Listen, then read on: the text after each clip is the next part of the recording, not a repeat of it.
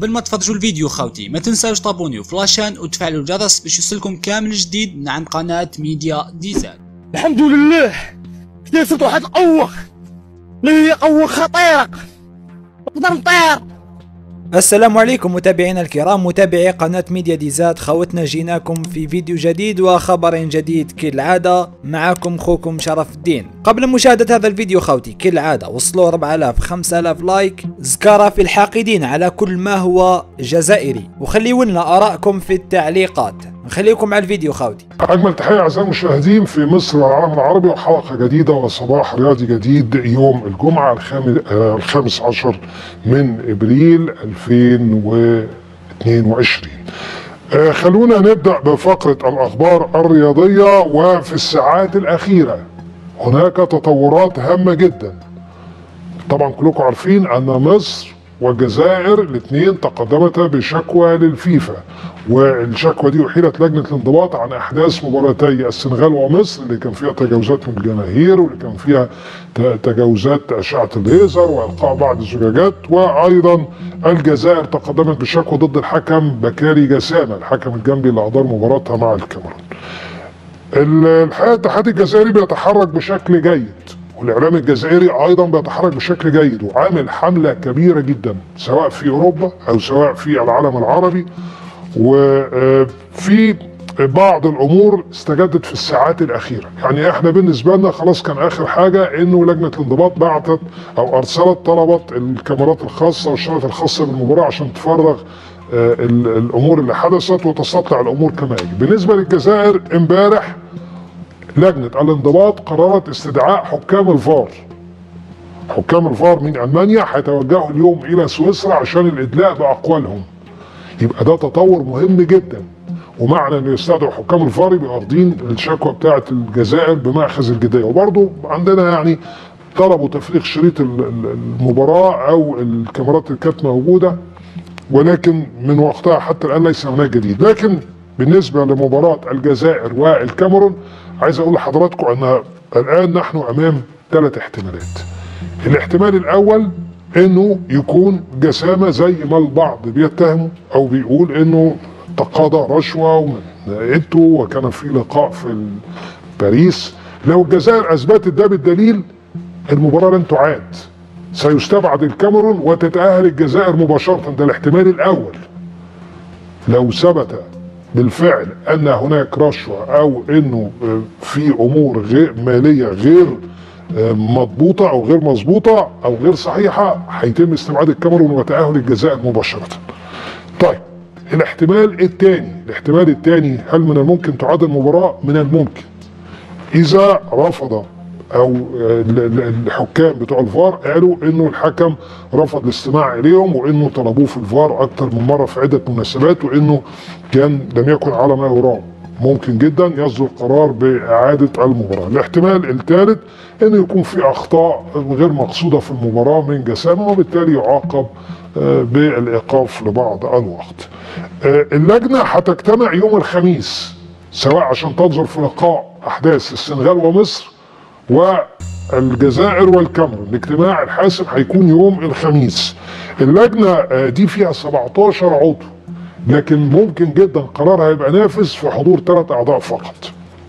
الرئيس من كولومبيا النائب من غانا يعني من دولة أفريقية والأعضاء بقى فيهم من السعودية من تونس من فرنسا من فنزويلا من البرازيل من أيسلندا هندوراس سنغافورة توجو الإكوادور المكسيك ليسوتو. يعني فيها دول من العالم الثالث كتير ومن أفريقيا كتير. المهم بننتظر ما ستقره آه لجنة الانضباط يوم الخميس. هل من الممكن أن تعاد مباراة السنغال ومصر؟ هل من الممكن أن يكون في قرار آخر بشأن مباراة الجزائر والكاميرون؟ هنشوف في الأيام القادمة ماذا سيحدث لكن هو الجديد إنه حكام الفار اللي اداروا مباراة آآ آآ الجزائر والكاميرون بيتوجهوا اليوم إلى سويسرا للاستماع رسميا إلى أقوالهم. وده أمر مهم جدا. طب أنت كنت بتقول لي الوقت ضيق والمرحلة القادمة. في يوم الخميس القادم اجتماع حاسم. كل العالم منتظره مش أفريقيا ولا مصر والجزائر بس لأنه طبعا مرتبط آه، القرار اللي هتاخده لجنة الانضباط بالفرق اللي بتشارك في كأس العالم خاصة القرعة اتعملت تفتكر كابتن إيهاب ممكن يحصل انقلاب في هذا الأمر وممكن نلاقي آه، إنه يوقف قرار صعود وتأهل السنغال والكاميرون وتتعادل مباراتين أو يحصل أي حاجة ثانية؟ أنا أستبعد آه، حتة الإعادة إعادة المباراة يعني أستبعدها. إنما في لو الحالتين؟ في الحالتين ما لو في آه، ثبت إن الفار قال للحكم على على موقف ما آه، مؤثر في المباراة مؤثر في المباراة ما استمعش وما استمعش ليهم. أنا بتكلم ممكن يكون قرار مش مؤثر إنما لو قرار مؤثر يأثر على نتيجة المباراة ده ماتش الجزائر ده ماتش الجزائر والكاميرون. لو لو الحكم ما سمعش كلام الفار والفار آه أثبت إن هو قال له آه في قرار لازم يتعمل أو الحكم ما سمعش كلامه يبقى لازم يشوفوا إيه إيه ال- إيه ال- إيه المدلول أو إيه اللي ما خلوش يسمع للفار لأن الفار ده من منظومة التحكيم. لازم أسمع كلامه لازم أشوف إيه ال- إيه القرار اللي هو بيتاخد. لو أثبت كده هيبقى في قرار طبعا استبعاد الكاميرون ب 100% يعني. إنما آه لو ما أثبتوش إن في حاجة مؤثرة للمؤثر ما هو لازم برضو في في في, في القانون حاجة مؤثرة وحاجات غير مؤثرة. لو القرار ده مؤثر على نتيجة المباراة في حالة نتيجة المباراة هيحصل طبعا مشكلة كبيرة طبعا. أنت متوقع يا كابتن؟ والله بص أنا أتوقع النهارده النهارده ال- حكام الفار موجودين في سويسرا. وهم ألمان.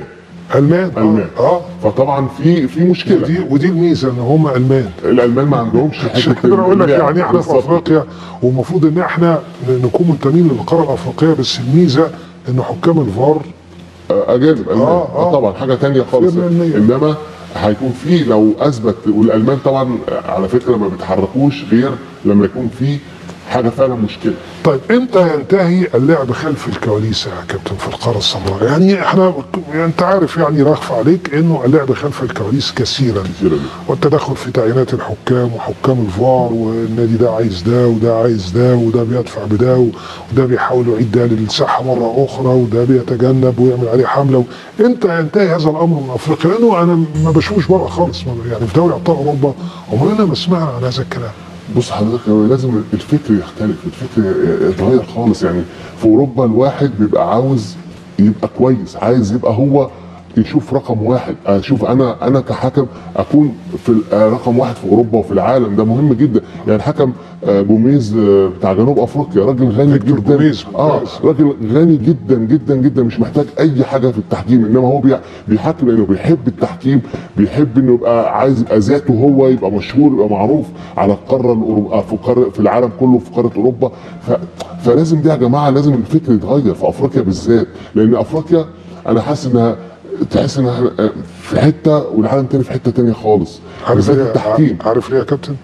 لأنه الكاف لا يتدخل بقرارات حاسمة والتأثير على الحكام أحيانا بيكون من أعضاء جوه الكاف أو أعضاء تابعين لانديه وليهم قوة جوه الكاف. فبالتالي بيحميه لو أخطأ. يعني ممكن يتوقف فترة بتاع يعمل إنما بيكون في حماية ليه بشكل أو بآخر. مظبوط. فدي مشكلة كبيرة. يعني يجب أن تنتهي بقى يعني عمر بصحيح. سيء يعني آه. وزاد جدا إنما هي المشكلة كلها فعلا زي ما حضرتك قلت في ناس جوه في الاتحاد الأفريقي بتحمي الحكام دي. فدي دي مشكلة كبيرة. وم- ولا تنتهي. وبتأثر على آه بلاد بتأثر على مش عايز أقول على فرق على على فرقة من بلد طيب كبيرة يعني. أنت بذكاء شديد لما سألتك على اعاده المباراتين أنت كلمتني على الجزائر والكاميرون وقلت لي لو الفار والحكام ولكن ما ما جبت سيرة مباراة السنغال ومصر انت شايف انه ما فيش فرص خالص ومحظوظ ولا إيه؟ أعتقد لا.